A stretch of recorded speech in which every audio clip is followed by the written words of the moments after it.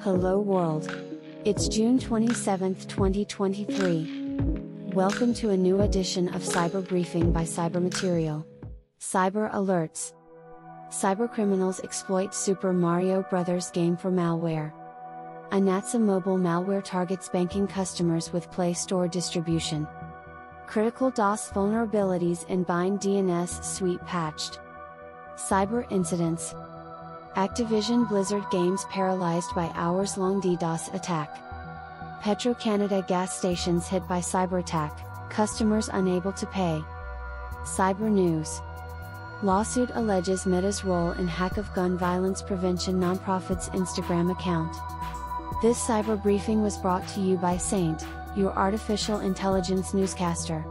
For more headlines, visit cybermaterial.com.